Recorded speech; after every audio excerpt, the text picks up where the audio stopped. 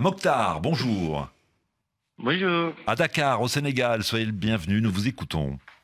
Merci beaucoup. Bon, j'avais deux questions pour vous aujourd'hui. Alors, une... commencer déjà par la première.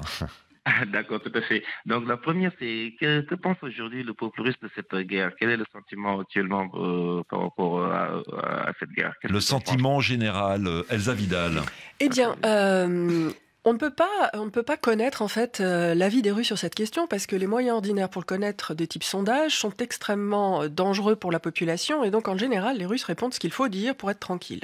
Ceux euh, qui sont contre cette guerre, contre hein, Mm. véritablement, ont quitté le pays, la plupart, euh, en deux vagues, une première en février 2022, une deuxième en septembre 2022 après la mobilisation. Maintenant, il y a une question beaucoup plus subtile, je pense, qui est veulent-ils la fin de cette guerre? Et il y a eu quelques sondages justement qui essayaient de contourner les difficultés euh, à, parler de cette question en leur disant voulez-vous que la guerre s'arrête assez rapidement, moyennement rapidement ou plus longuement?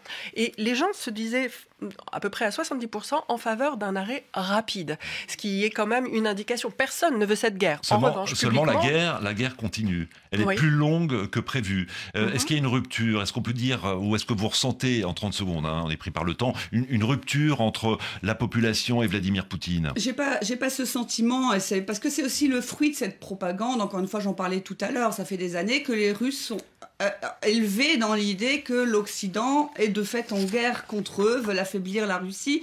Et donc, dans toute cette euh, guerre, ce discours-là est très présent dans ce que dit euh, Vladimir Poutine. Donc, euh, la majorité, effectivement, semble vouloir une fin de la guerre assez rapide. Mais je citerai euh, Monsieur Levada, qui est à la tête d'un centre d'opinion euh, publique euh, très réputé, qui se désespère en fait de voir que ce qui embête les Russes dans cette histoire, c'est que leur armée euh, Oui. n'est pas à la hauteur.